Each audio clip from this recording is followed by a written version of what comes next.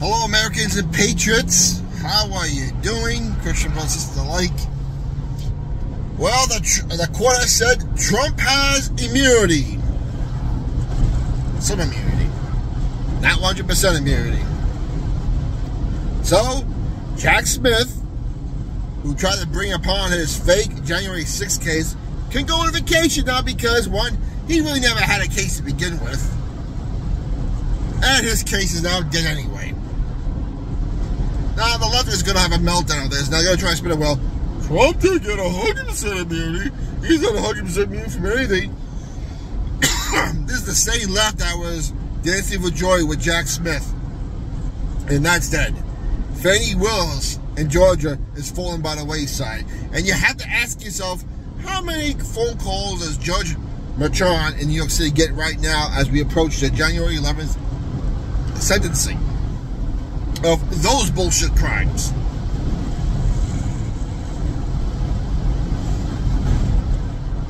As the other cases have been pretty much pushed aside till after election day, I cannot imagine how many phone calls Judge Merchan is getting. Now, for people say, well, if Trump gets some immunity, so does Biden. Um, not against treason and sedition. Not for stealing an election, he doesn't. For his illegal business decisions, selling out America to its foreign enemies. That's treason.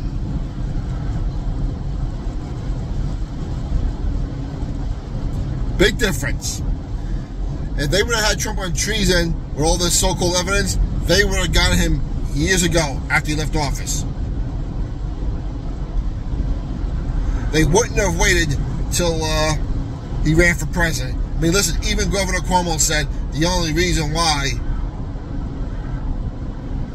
the DA Manhattan brought this case is because Trump was running for president because even Governor Cuomo, the old governor, the old attorney general said there is no case here. The feds didn't even take it.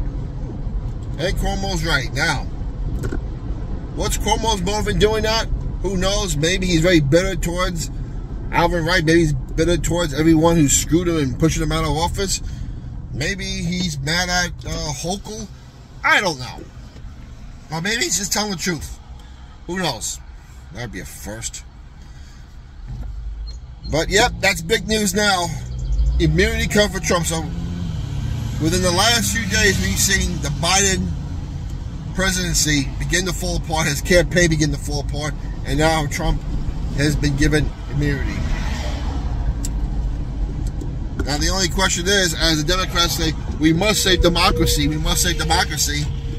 Are they going to remove, force, uh, take, try to take Joe Biden off the ballot when the entire country of primary said they wanted Joe Biden to be on? Now, there's only a few ways this can happen. They could use the 25th Amendment and say this guy's not comp anymore. Totally illegal. Which Trump predicted years ago. And it would be legit. The problem is, they Kamala Harris to take over. They don't want Kamala Harris either, even though that was Obama's girl about three years ago when they were running. But she's been a disaster. So how do they get rid of her also? This is the big question.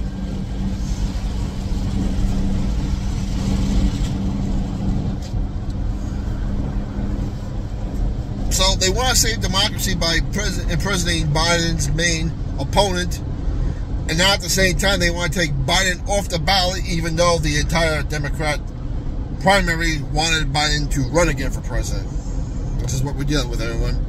I've been telling you, it's going to get, it's going to get ugly.